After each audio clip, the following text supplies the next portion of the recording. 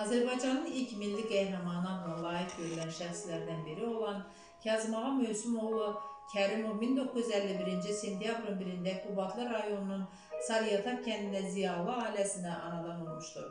Qubadlı rayon orta məktəbini bitirdikdən sonra rayonun Avangard qəzetinin mətbəəsində yığıcı işləmiş. 1970-ci ildə Azərbaycan Dövlət Universitetinin jurnalistika fakültəsinə daxil olmuşdur. Universiteti bitirdikdən sonra təyinatla Azərbaycan Məktəbi jurnalında, sonra isə Azərbaycan Müəllimi qəzetində çalışmışdır. Sonralar Goranboy rayon Qızılhacılı kəndində Aqrar Sənaye Birliyində hüquq məsləhətçisi kimi qəbul olunmuşdur. 1988-ci ildə vətəndaşlıq borcunu yerinə yetirmək üçün cəbhə bölgəsinə yollanmışdır. Kazım Ağa Kərimov 1991-ci ildə Goranboy rayonunda yaradılan könüllü özünü müdafiə batalyonlarından birinə komandir müavini təyin olunmuş və baş leytenant rütbəsi ilə doğma torpaqlarımızın müdafiəsinə qalxmışdır. İlk günlərdən bir çox mühüm hərbi əməliyyatlarda iştirak etmiş.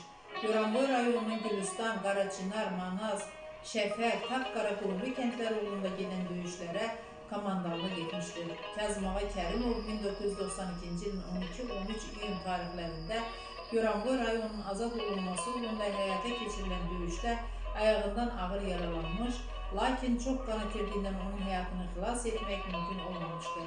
1992-ci il iyun ayının 15-də vəfat etmişdir. Bakı şəhərindəki şəhidlər xiyabanına dəfn edilmişdir.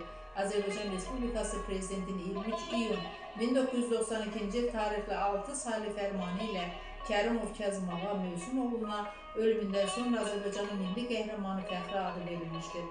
Qızılhacılı kənd mədəniyyət evi onun adını daşıyır. Goranboy şəhərində büstü qoyulmuşdur.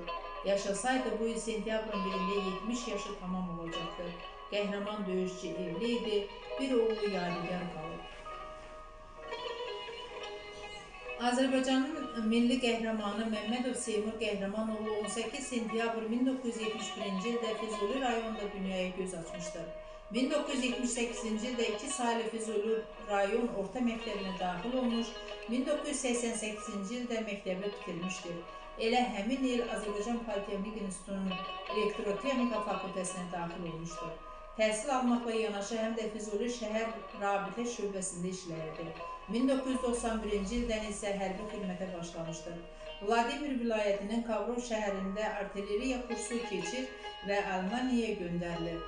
Bir müddət sonra isə xidmətini Ukraynanın Çernigov şəhərində davam etdirir. Hərbi xidmətdən vətənə qayıdaraq özünü müdafiə batalyonuna yazılır.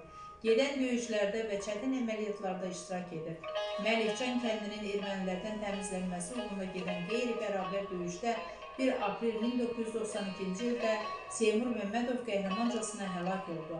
Azərbaycan Respublikası Prezidentinin 11 avqust 1992-ci il tarixli 131 saylı fərmanı ilə Məmmədov Seymur Qəhrəmanoğluna ölümündən sonra Azərbaycanın milli qəhrəmanı adı verilmişdir. Subay idi.